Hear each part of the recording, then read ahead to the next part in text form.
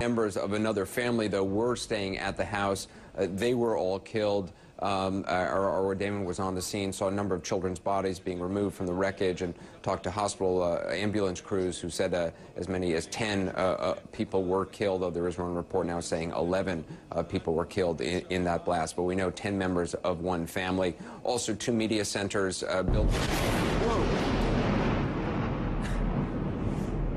That was a rather large explosion. Yeah. Um, that occurred, just look out here. Um, I can't actually see where the impact of that was. Uh, it's actually set off a number of car alarms, um, but that was probably the largest explosion that we've heard uh, just in the past, um, really in the past hour. There have been a number of explosions in the last hour or two, uh, but that one that one was pretty loud. Um, we actually, there, the, the rockets continue to be fired uh, from Gaza toward Israel um, about three or four hours